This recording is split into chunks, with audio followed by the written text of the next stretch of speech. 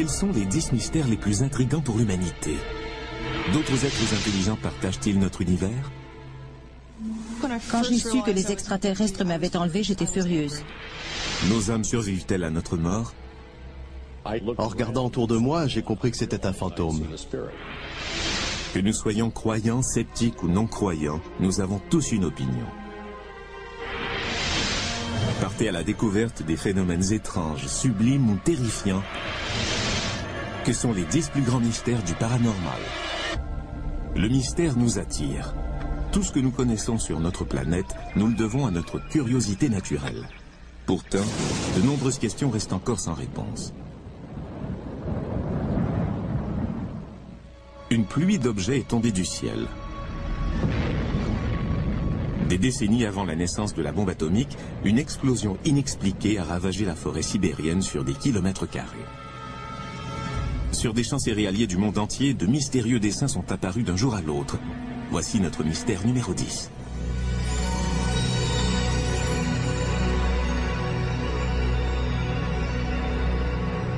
Pendant les années 80, des dessins en forme de cercle ont commencé à apparaître sur des champs en Angleterre. Depuis, plus de 2000 cercles céréaliers aux formes plus ou moins complexes se sont formés au Japon, en Australie, dans l'ex-Union soviétique et aux États-Unis. Personne ne peut confirmer avec exactitude s'ils sont de nature extraterrestre, naturelle ou s'il s'agit de canulars. Les cercles céréaliers d'aujourd'hui sont parfois très élaborés mathématiquement et extrêmement précis. Pour beaucoup, ces caractéristiques éliminent la théorie de la cause naturelle. Se pourrait-il aussi que les hommes n'y soient pour rien?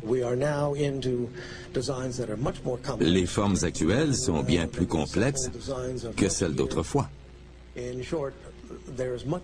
Ces apparitions de cercles céréaliers sont trop impressionnantes pour que les farceurs y jouent un rôle important. On nous a sorti ce même argument tout au long de l'histoire. Les Égyptiens auraient été incapables de produire les merveilles mathématiques que sont les pyramides. Il fallait que les extraterrestres les aident. C'est une véritable forme de racisme, non? Selon les chercheurs en cercle céréalier, le blé aplati a subi des transformations. Les effets sur la croissance des plantes peuvent se faire sentir pendant des années. Ni vous ni moi n'aurions jamais pu produire un tel effet sur ces plantes. Ce qui se passe indique que nous ne sommes pas seuls dans l'univers. C'est passionnant. Cependant, tout le monde n'est pas aussi enthousiaste. C'est peut-être simplement la façon dont les cercles céréaliers se sont formés qui explique la différence entre la structure des plantes à l'intérieur du cercle et celle des plantes à l'extérieur du cercle. L'explication n'est pas pour autant magique ou extraterrestre.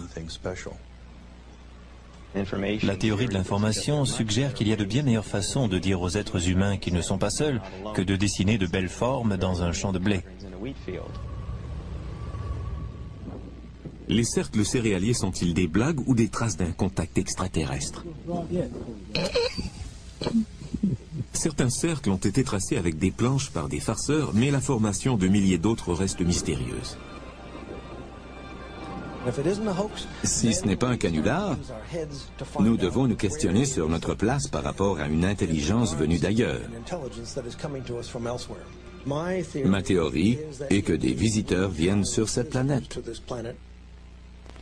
La science n'a pas encore pris les cercles céréaliers au sérieux. Pourtant, tout le monde peut voir ces messages écrits dans nos champs de blé.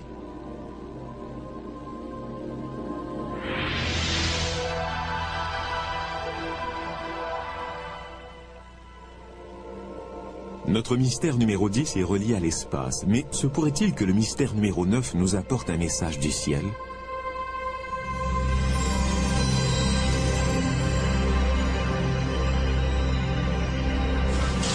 Le 21 septembre 1995, des rapports du monde entier ont fait état de statues hindous qui buvaient du lait présenté en offrande. Des milliers de gens ont été témoins de ce phénomène. À New Delhi, des millions d'individus ont offert du lait à leur propre statue. Doit-on parler de miracle ou d'hystérie collective? Contre toute attente, l'Église catholique voit également d'un mauvais œil la plupart des phénomènes prétendument miraculeux. Si la décoloration naturelle d'une vitre prend plus ou moins la forme de la Vierge Marie, les gens deviennent surexcités. L'Église des temps modernes ne donnerait jamais son aval à un tel événement. Parce que l'Église, comme tout le monde, vit dans une époque moderne.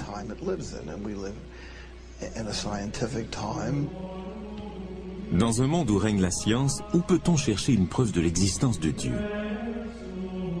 L'objet le plus étudié de l'histoire de l'humanité est le suaire de Turin.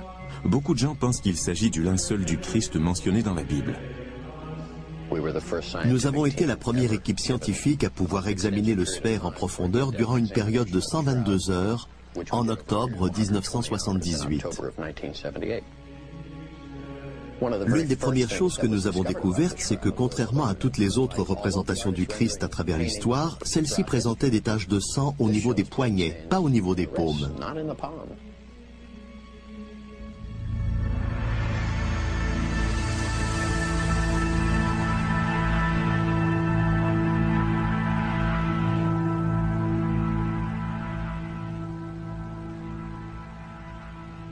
Le suaire comporte aussi des traces de blessures laissées par un fouet romain et des traces de sang laissées par une couronne d'épines. Dans les écrits historiques, une seule personne a été victime de telles tortures et il s'agit de Jésus. Les résultats de cette première recherche étaient tellement prometteurs qu'en 1988, l'Église catholique a donné son accord pour qu'on évalue l'âge du suaire. S'il datait du premier siècle de notre ère, cela constituerait une preuve physique de l'existence de Jésus-Christ. La datation au carbone 14 a révélé que le suaire ne datait pas d'une époque antérieure au XIIIe siècle. Cela a suffi à certains pour qu'ils considèrent le suaire comme un canular, mais certains facteurs ont remis en question la précision du test scientifique. Le protocole a été modifié à la dernière minute. Plutôt que de tester différentes parties du suaire, un seul test a été effectué. En outre, en 1532, un incendie aurait légèrement brûlé le suaire, ce qui aurait eu pour conséquence de fausser la datation au carbone 14. Cependant, les sceptiques se demandent simplement pourquoi dater le suaire. En se servant de matériaux disponibles à l'époque médiévale, Joe Nichol réussit à produire une réplique convaincante du suaire.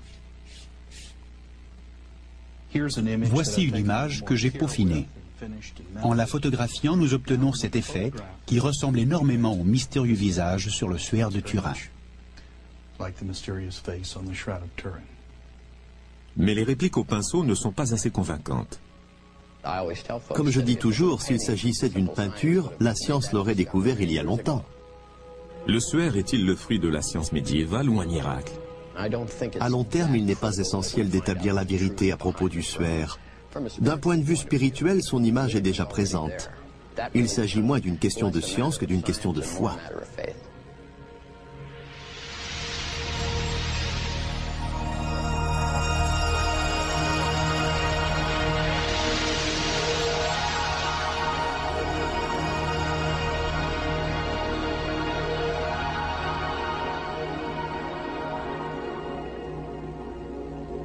Mystère numéro 9 remet en question nos espoirs spirituels, tandis que le mystère numéro 8 fait ressortir en nous nos pires terreurs.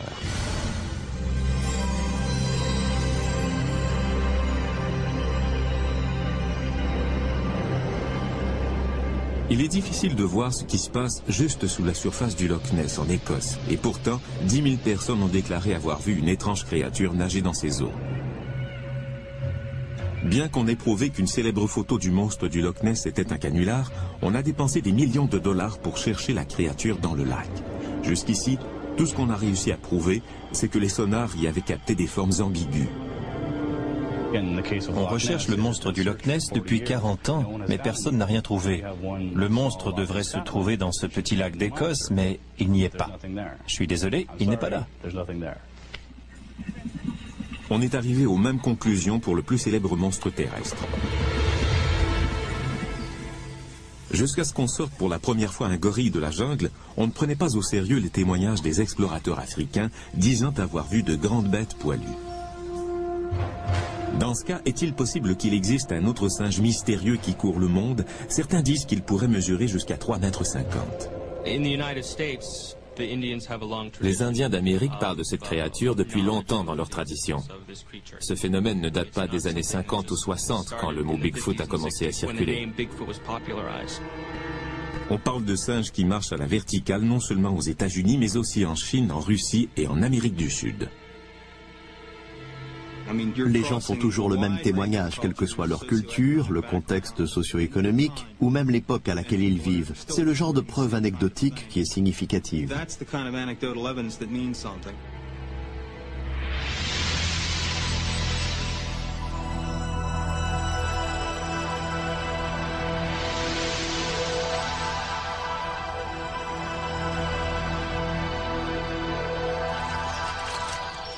Existe-t-il une preuve réelle de l'existence de cet animal?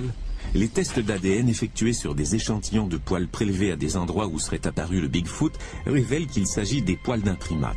Malheureusement, les échantillons testés sont trop petits pour qu'on puisse en affirmer davantage. Les traces de pas constituent la meilleure preuve. C'est de là que vient le nom Bigfoot, grand pied. Les empreintes de pas existent bel et bien, elles sont mesurables. Un farceur ne prendrait pas le temps de fabriquer les crêtes dermiques, l'équivalent de nos empreintes digitales, présentes sur certaines des empreintes trouvées.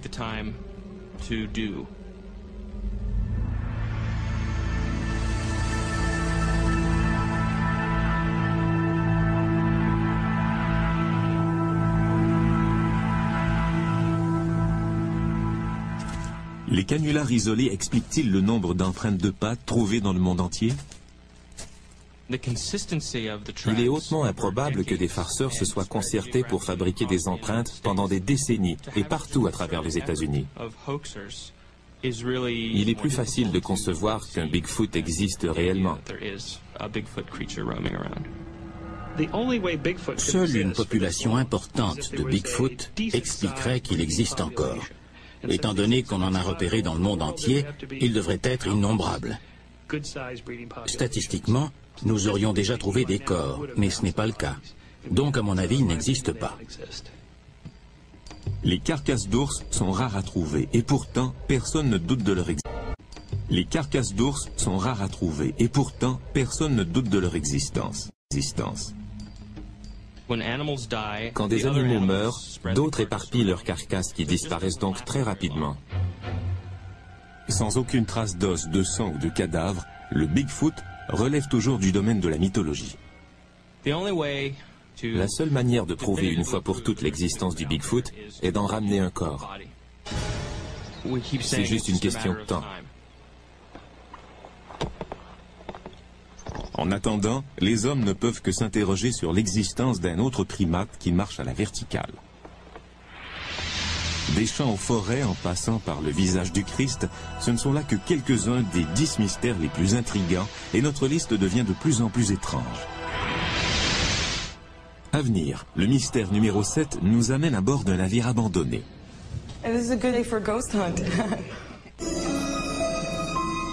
Jusqu'à maintenant, notre liste des mystères les plus intrigants inclut les cercles céréaliers, les miracles et les monstres. Le mystère numéro 7 a un rapport avec le monde des morts. À Alameda Bay repose le dernier d'une grande série de navires de guerre. Les seules personnes qui habitent ce bateau abandonné, le USS Hornet, sont les morts qui y retournent pour y passer l'éternité.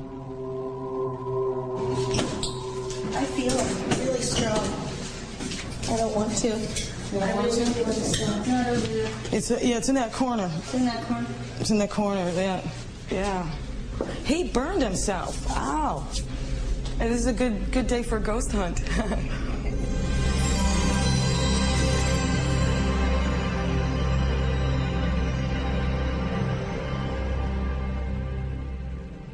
De tout temps, les gens ont vu apparaître les fantômes. Les anciennes civilisations parlaient d'esprits, de gens qui, après leur mort, s'étaient rendus dans un autre monde ou étaient restés coincés dans celui-ci. C'est un phénomène très ancien qui fait partie de l'expérience humaine.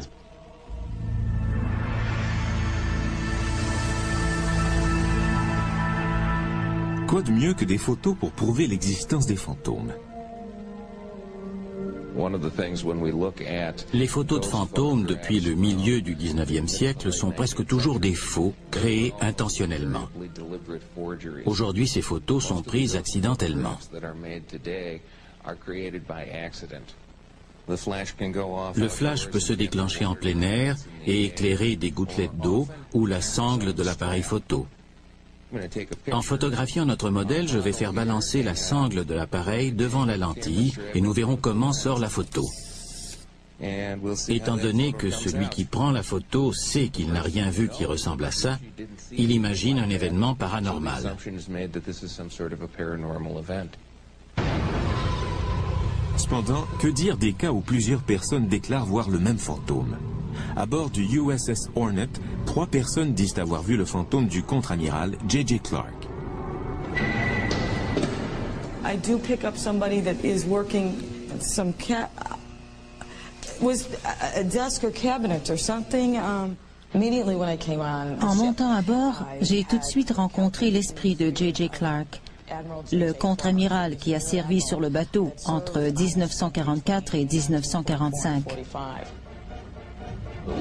Quand j'ai vu l'esprit descendre de l'échelle en dessous de moi, je l'ai regardé droit dans les yeux. Je n'ai pas juste croisé son regard. J'ai vu un homme. Il se tenait debout, les bras le long du corps. Quand j'ai vu une photo de l'amiral, j'ai su qu'il s'agissait du même homme.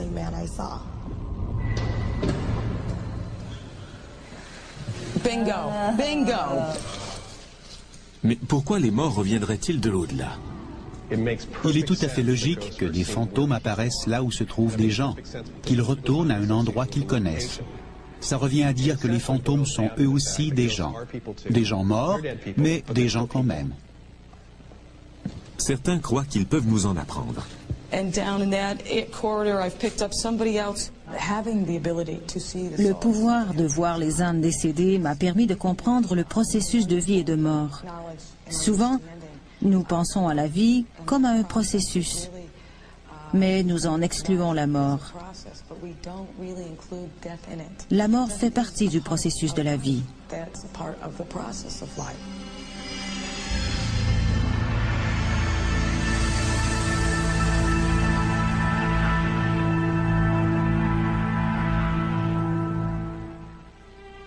Il est peut-être rassurant de croire que nous ne disparaissons pas après notre mort, mais pour ceux qui sont bel et bien vivants, le mystère numéro 6 pourrait les aider à rester en bonne santé.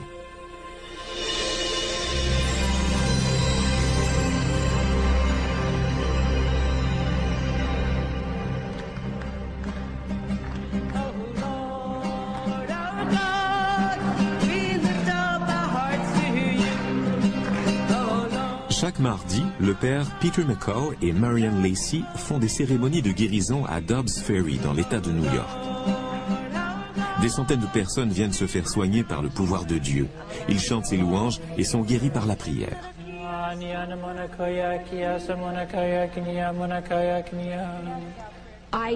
Je sais que ce sont les mains de Dieu qui m'ont guéri. Je ne peux pas l'expliquer autrement.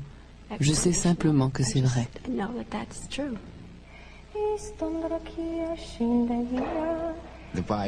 Les résultats de la biopsie étaient négatifs. Il n'y avait plus aucun signe de cancer. Est-ce que je crois que c'est un miracle? Absolument. Aujourd'hui, pour canoniser les saints, l'Église catholique ne prend en compte que les miracles par guérison. Ils sont donc vérifiés avec rigueur. Pour attester l'existence d'un miracle par guérison, il doit s'agir d'un symptôme potentiellement mortel, prouvé par des données scientifiques comme les rayons X. La maladie doit être guérie instantanément ou très rapidement, sans aucun traitement médical, sans période de récupération et sans rechute. Notre croyance dans les revenants ou dans les guérisons miraculeuses suffit-elle à vaincre la mort? À venir, notre compte à rebours des dix mystères les plus intrigants nous fait découvrir des corps qui brûlent tout seuls. Certains ont vu des fantômes s'envoler en fumée, mais qu'en est-il des gens qui prennent feu spontanément? Si je ne l'avais pas vu de mes propres yeux, je n'y croirais pas.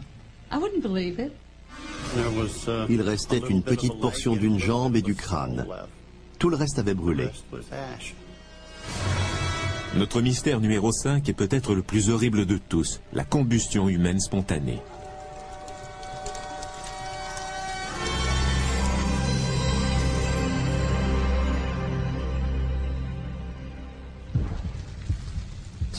La combustion humaine spontanée est la capacité qu'a le corps à se consumer, à se couvrir d'ampoules ou à se brûler de toute autre manière sans entrer en contact avec du feu. La combustion humaine spontanée est horrible et macabre et, selon la science, impossible. Depuis les premiers cas de combustion humaine spontanée au XVe siècle, on a parfois interprété ce phénomène comme une punition divine.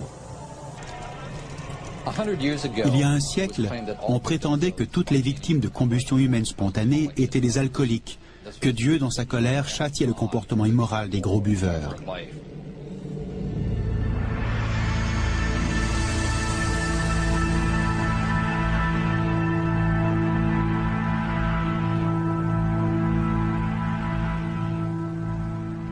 Au XXe siècle, on a rapporté 300 cas de combustion humaine spontanée et tout porte à croire que ce phénomène est à la hausse.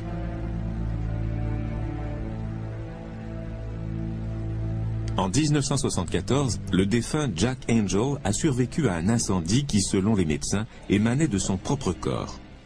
Quand M. Angel s'est réveillé d'un profond sommeil, il a remarqué que son avant-bras droit et que sa main avaient été réduits en cendres. Le diagnostic inscrit dans son dossier médical parle de blessures, je cite, d'origine interne. L'un des cas de combustion humaine spontanée les plus étranges et les mieux documentés du XXe siècle est celui du pompier George Mott. Sur le matelas où M. Mott s'est consumé, on a retrouvé seulement la partie de sa jambe droite en dessous du genou. Il ne restait que des cendres du reste du corps de M. Mott, qui pesait 82 kilos. L'individu lui-même a complètement brûlé, mais pas la maison. Comment est-ce possible? Qu'est-ce qui a pu causer cet incendie et comment un feu peut-il brûler au point de consumer un homme tout en laissant la pièce dans laquelle il se trouve intacte? Nos hommes ont vérifié le système électrique, le fourneau et le chauffage. Nous avons déterminé qu'il ne s'agissait pas d'un suicide, ni d'un homicide. Ça ne peut être qu'une combustion humaine spontanée. Cela fait 25 ans que nous faisons des recherches sur ce phénomène et nous n'avons encore trouvé personne qui aurait vu toutes les preuves et qui pourrait nous expliquer comment ça se produit. La combustion humaine spontanée est l'un des grands mystères auxquels sont confrontés la médecine et l'humanité. S'il est impossible d'expliquer comment un corps peut prendre feu, comment élucider le mystère numéro 4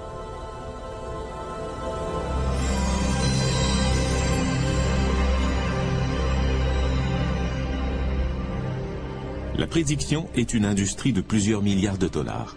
Deux tiers des Américains croient à la voyance et 60% pensent avoir vécu des expériences parapsychiques.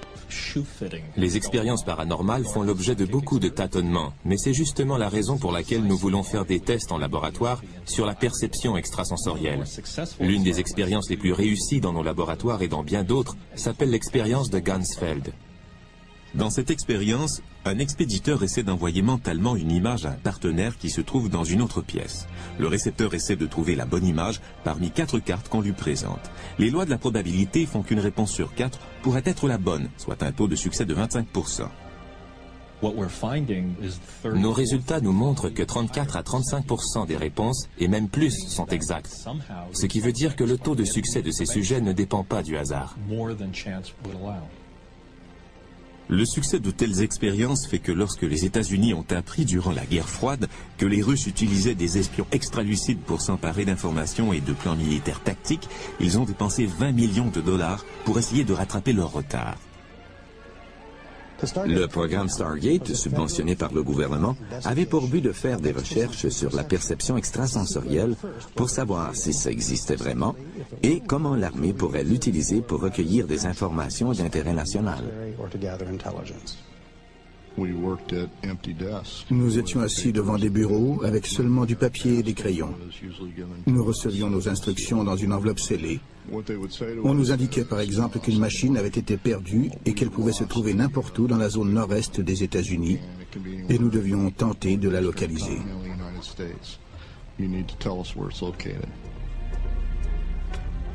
Pendant plus de 17 ans, Joe McMonagle a servi son pays en faisant de la voyance à distance, un terme militaire pour clairvoyance. En 1981, Stargate a fait appel au service de McMonagle pour localiser le général James Dozier, enlevé en Italie par les Brigades Rouges. McMonagle a réussi à indiquer le nom d'une rue, l'étage d'un bâtiment et la description de l'état du général. Tous ces détails se sont confirmés lors de la libération de Dozier. Mon niveau de précision dans l'affaire Dozier m'a vraiment surpris. C'est ce qui est étonnant avec la voyance à distance.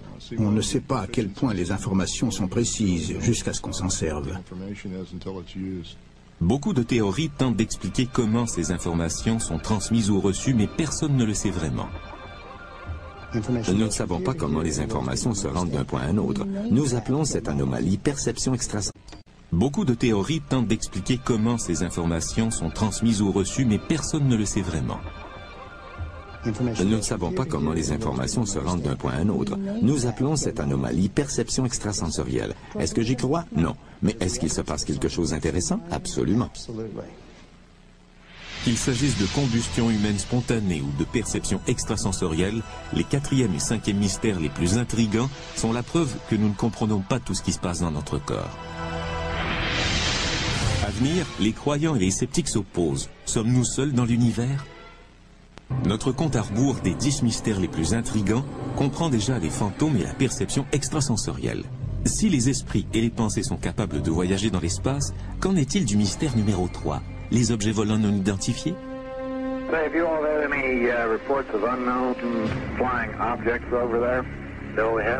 Uh. Okay, wondering. We supposedly are having quite an invasion over here.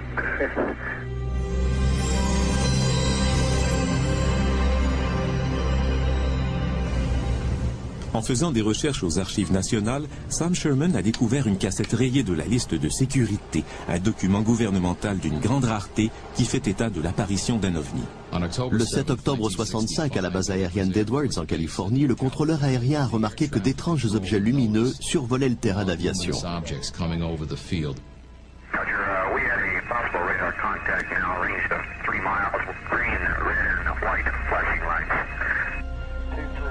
Selon Sherman, ces objets ont été captés au radar à huit endroits militaires stratégiques de la côte ouest américaine. Redoutant la présence d'un appareil ennemi, l'armée de l'air a envoyé ses propres avions en reconnaissance. Cet objet s'est dérobé à lui à toute vitesse et on ne l'a plus revu.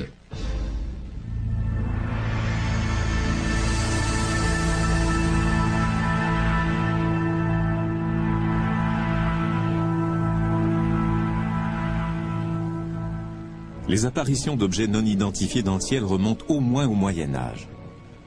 On ne les appelait pas des ovnis ni des soucoupes volantes, mais il s'agissait certainement du même type de phénomène.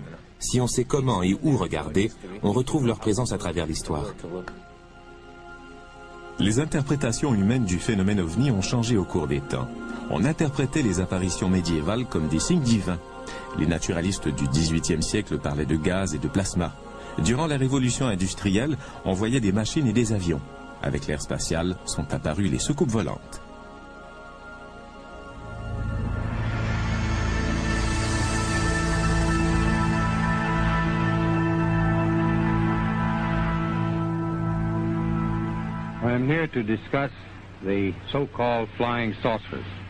En 1948, les témoignages crédibles d'apparitions d'OVNI étaient tellement nombreux que l'armée de l'air a décidé d'enquêter.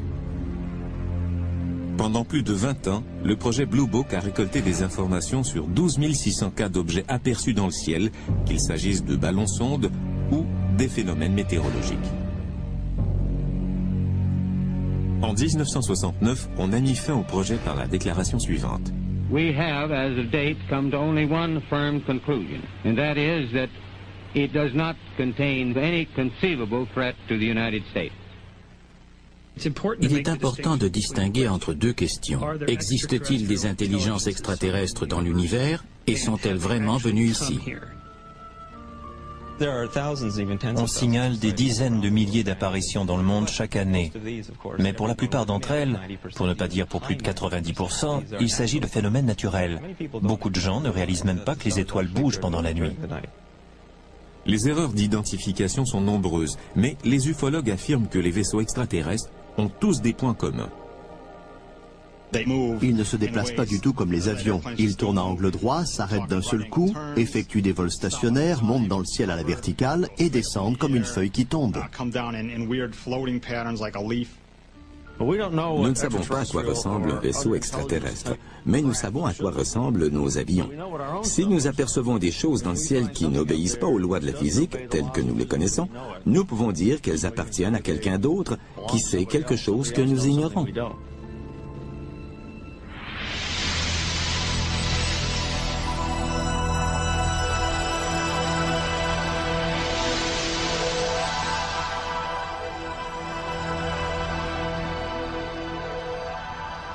Le 19 septembre 1961, Betty et Barney Hill traversaient le New Hampshire aux environs de minuit lorsqu'ils ont dit avoir repéré une lumière en forme de crêpe avec deux rangées de fenêtres qui semblaient les suivre.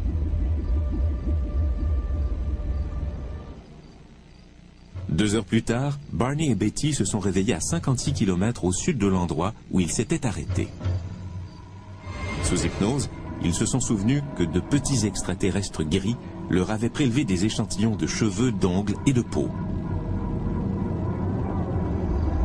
Avec le récit des Hill, on entendait parler pour la première fois du mystère numéro 2.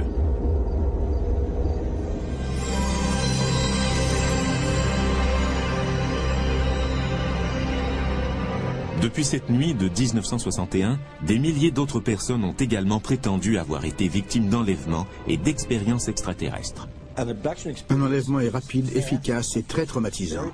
Très souvent, les souvenirs de cette expérience sont partiellement effacés. La précision des souvenirs ramenés à la conscience grâce à l'hypnose est toutefois mise en question. Il s'agit de faux souvenirs que le thérapeute implante par suggestion dans la mémoire de ses patients. C'est ça l'hypnose, un jeu de rôle imaginaire entre l'hypnotiseur et son sujet. Cependant, les hypnotiseurs pensent être capables de prouver que leur sujet ne se contente pas de suivre l'histoire qu'ils leur suggèrent. Lors d'une session d'hypnose, je pose environ 10 à 20 questions suggestives, des fausses pistes, et personne ne s'est jamais trompé. Étant donné que la plupart des victimes disent avoir été enlevées de nuit dans leur lit, les sceptiques relèguent ce phénomène au rang de paralysie du sommeil. Les gens éprouvent cette drôle de sensation quand ils sont presque endormis, mais encore conscients. Dans cet état, votre corps est paralysé, mais vous êtes encore conscient. Il semblerait que le mécanisme des rêves y joue un rôle. Donc, vous rêvez tout en étant conscient, mais paralysé.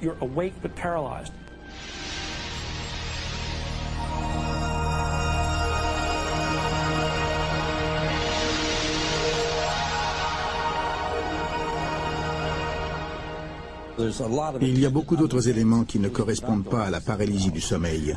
Par exemple, il est déjà arrivé que plusieurs personnes issues d'endroits différents soient emmenées à bord du même vaisseau. Quand elles sont habillées, elles reviennent parfois en portant les vêtements de quelqu'un d'autre, comme cette femme qui portait un survêtement en se couchant et qui s'est réveillée avec la chemise de nuit de quelqu'un d'autre.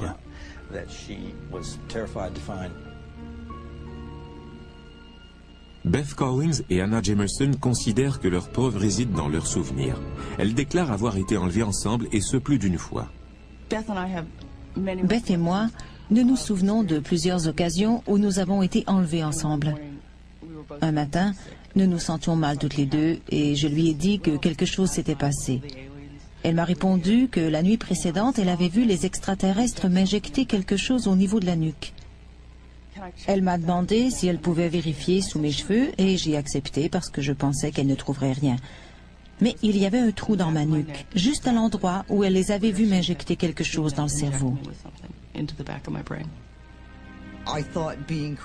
J'aurais préféré être folle plutôt que d'en parler à qui que ce soit, même à Anna. Je ne pouvais pas faire comme si rien ne s'était passé. Mais je ne pouvais pas oublier ce dont je me souvenais. Quand on possède des preuves comme celle-ci, il est très difficile de croire qu'on ne s'est pas vraiment fait enlever. Et je sais qu'il m'enlève régulièrement. Après avoir étudié tellement de cas et avoir vu tellement de traumatismes et de preuves physiques, j'ai répondu à quelqu'un qui me demandait si j'y croyais vraiment que je ne pouvais malheureusement plus me permettre le luxe de douter. Des étranges vaisseaux spatiaux aux enlèvements par des extraterrestres, les deuxième et troisième mystères les plus intrigants prouvent que nous sommes fascinés par les êtres venant d'un autre monde. Du tréfonds de notre esprit jusqu'à l'espace infini, le débat qui fait rage entre les croyants et les sceptiques nous mène vers le mystère ultime.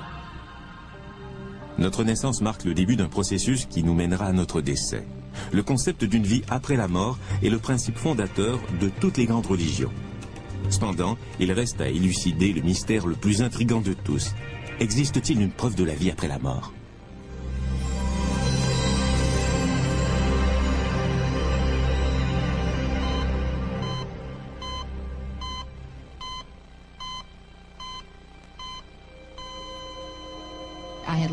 Je n'avais plus de corps et j'étais devenue une petite étoile. À ce moment-là, j'avais l'impression que ce qui m'arrivait était tout à fait normal. J'étais contente de voir que je n'avais plus de corps, que j'en étais libérée. C'était comme dans Star Trek, quand ils volent à une vitesse hyper exponentielle et qu'ils voient toutes les lumières défiler devant eux. Je voyageais à des millions de kilomètres à l'heure. Chaque culture a sa propre conception de l'au-delà. Mais comment se fait-il que nous croyons à l'existence d'un monde après la mort? Depuis au moins un siècle, on s'intéresse à la vie après la mort, aux visites que nous rendent les défunts et à la communication avec les esprits.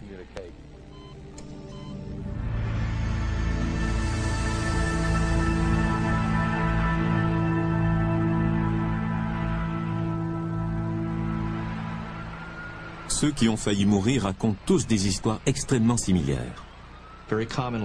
Il n'est pas rare que des gens vivent ce qu'on appelle une expérience de mort imminente. En d'autres termes, leur conscience se sépare de leur corps. Très souvent, ils se voient traverser un tunnel, au bout duquel ils rencontrent généralement des êtres de lumière. Il peut s'agir de parents ou d'amis décédés ou même de figures religieuses. À ce moment, très souvent, ils voient leur vie défiler en rétrospective. Des tests en laboratoire ont montré que la perte de conscience provoquée par la gravité générait des expériences de mort imminente, la vision d'un tunnel et de lumière blanche. Cela s'apparente à certaines caractéristiques de l'expérience de mort imminente. Environ 15% des gens ont ce qu'on appelle une expérience de mort imminente effrayante.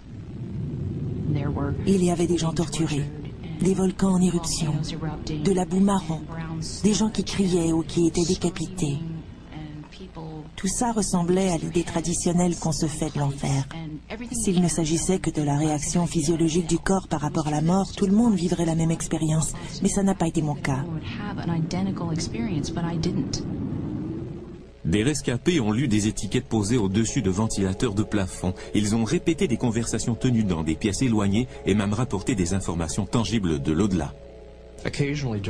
Il arrive que des gens qui vivent une expérience de mort imminente rencontrent quelqu'un qui s'identifie comme un proche qu'ils avaient connu durant leur vie. Or, il se peut qu'ils disent ne pas avoir de frère ni de sœur, et pourtant ils finissent par découvrir qu'ils avaient un frère ou une sœur mort alors qu'ils étaient très jeunes. Ça prouve qu'il se passe vraiment quelque chose. Si des gens reviennent bel et bien de l'au-delà, quel message en ramènent-ils J'ai vécu un énorme téléchargement d'informations. Avant de pouvoir me demander si j'étais en train de mourir, j'ai entendu cette phrase. Nous ne mourrons pas, notre corps meurt, mais notre âme jamais. Le plus grand mystère auquel est confrontée l'humanité est de savoir ce qui se passe après la mort. Des millions de personnes ont eu des expériences similaires. C'est très courant. Le message qu'il ramène est toujours le même. La vie après la mort existe et elle est merveilleuse.